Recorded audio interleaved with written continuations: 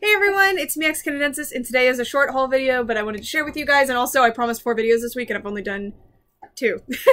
so today, every Saturday-ish, we go, me and my boyfriend go on this certain rotation of thrift stores that are in my area, and it's just like, start at one, then the, the last one's like right next to our house, and um, we found some good stuff for me.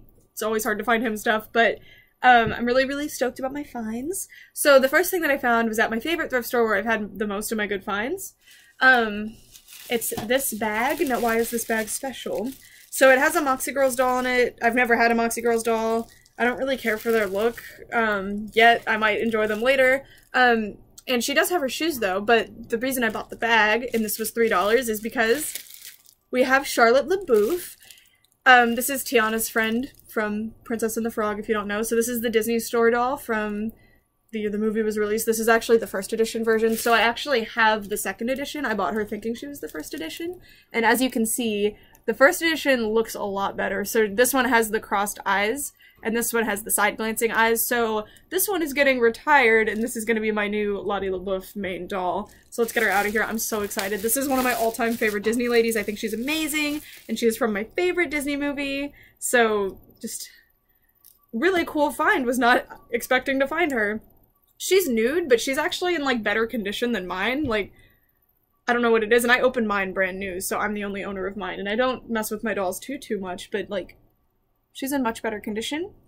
Uh, so I'm actually going to transfer mine's dress over to retire mine officially. If I do end up getting the Mattel doll, I don't really think the Mattel doll looks very much like Charlotte, so I'll probably put um, the Mattel outfit on that Charlotte. But for now, this is my main Charlotte, guys. Like, I'm super, super stoked about it, so let's get her all dressed up. Um, I just, I love her. She's so beautiful, and I love her character so much. Especially, like, at the end, her growth is just... Mm, She's just wonderful. Do you guys like Princess and the Frog? I guess you can't answer because the comments will be taken away shortly after I upload this. Check me out on Instagram. It's xcanadensis the same way it's spelled here if you want to chat with me about something. Um, also, my uh, YouTube community page is open for comments. Alrighty. Oh, she looks so good! So now I essentially have the first edition Charlotte doll. It would have been great if she had her dress so I could have both on display, but I'm fine with this. Because I have several editions of Tiana, and it would have been cute to put uh, them with... Oop, dropped one of her shoes. Let's put her shoes on. The most generic doll shoes ever. Sorry, guys. This is just something I'm really excited about. I don't know, I saw her and I was kind of debating getting her. I was like, hmm, because I do have Charlotte already. These shoes are really tight. I just dropped the shoe again. I do already have Charlotte. I do love my doll, but I just kept looking at her face and I was like, I can't resist. She's so beautiful. Um, if she'd come with her outfit, it would have been a lot more of like a not being able to resist it, but she just looks so, so good. So I, I caved in and now she's my girl. I cannot get the shoe on. They are so tight. Where was it? It was in the entry dish area. Like in the cabinet? With the uh, Utensils? containers. Oh, we should not have been there. All right, here she is. I really need to sew her in underskirt to make the dress fluff out more. I had this annoying habit of taking out the fluff that was under the dresses and throwing it away. It was like toilet paper. Oh, she looks so good. I really love her. I, I've loved mine, and she's brought me a lot of joy over the years, but can't really deny that the face is much cuter on this one. I see what they were going for on this one, but especially in pictures, girl looks a little rough. Look, Fred, she's cute. Yeah. Cross-side. I really love her. Okay, so that is her. Really. Um, don't bully me. All right, and then our Moxie Girlz doll here. Let me know if you know which one this is. Oh, looks like she has a crown. Oh, oh, is this like a Rapunzel? She's got blonde hair and a purple crown. Her hair is crazy. I might restore this doll when I restore the Bratz doll that I got at the that I got at the thrift store. Let's get. She's got this purple crown here. Oh, are these the MGA Storytime Princess counterparts that they made with Moxie Girlz? That might be what these are. And she actually makes sound, but it's just like this weird beep sound because she's probably out of battery. Um, she's got an on and off switch on the back.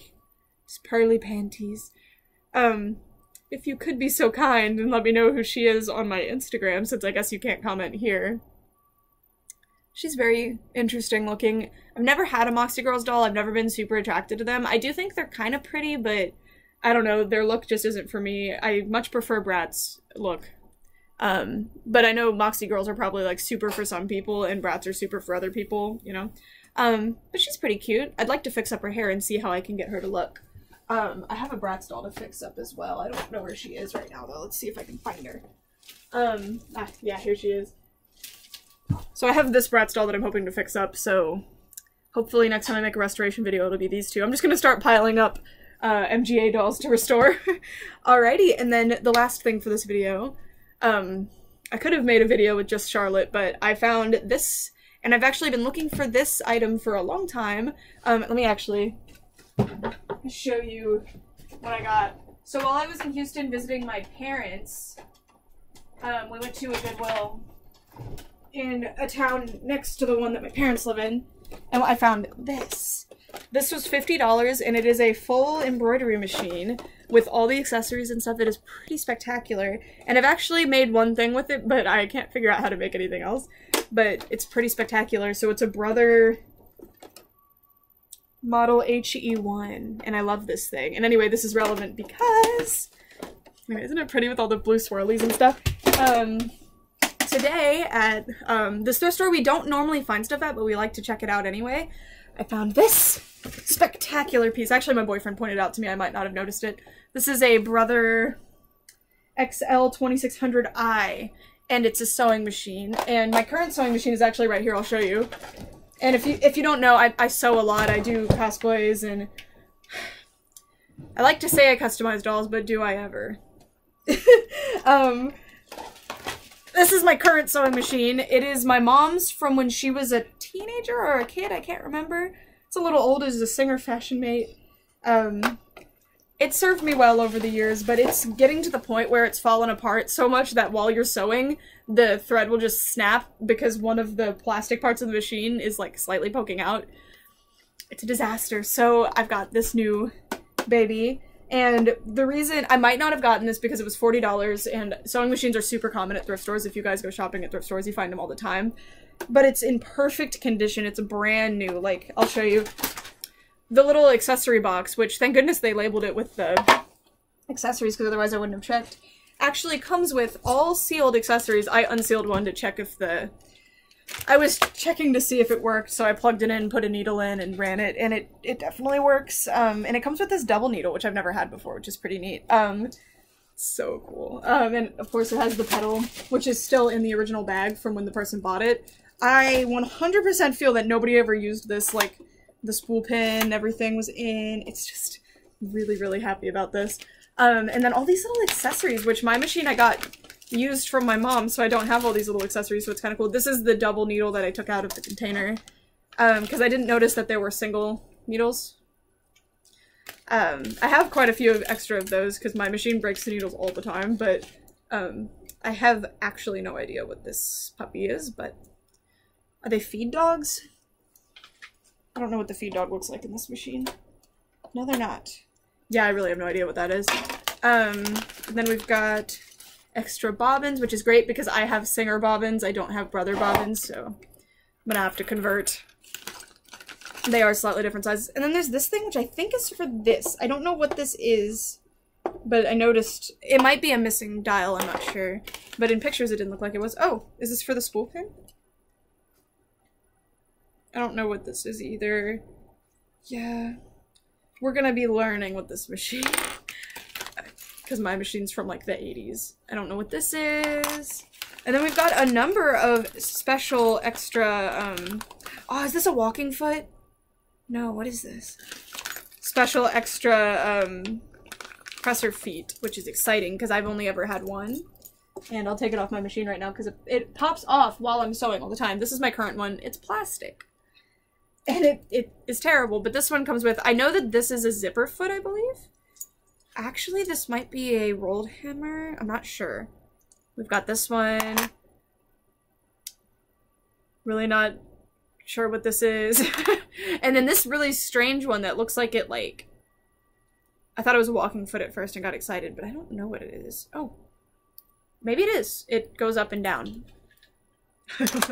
And then just the standard one that's already on there. This is an exciting thing that I own now. Um, so that is it for the thrift haul. Maybe I'll use my new sewing machine to make a new dress for poor naked Charlotte here. Um, what's wrong? Oh, yeah, she's cute. It's gonna mess with my machine. Alright, and I am excited to play with my, mini- my new machine. Oh, and I checked at the store because it has the plugs and it all works. Always have to do that. If it doesn't come with plugs, which I bought one that didn't come with plugs because it was a serger and it was $15. It was ridiculously cheap. Um, and it's still at the repair shop. They haven't called me back yet. It's been like a month. um, but I've just had good uh, machine luck at thrift stores, so I'm super happy about that. So hopefully, next time you see me working with sewing machines in a video, you'll see my new beautiful one, and that is how you know that it has been working for me. Anyways, guys, thank you guys so, so much for watching, and can't really leave comments because of the whole YouTube situation, so I guess, uh, just bye. Um, if you want to leave a comment, just go to my Instagram and talk to me there, or, um, my YouTube community page, like I said. Uh, for real this time, bye!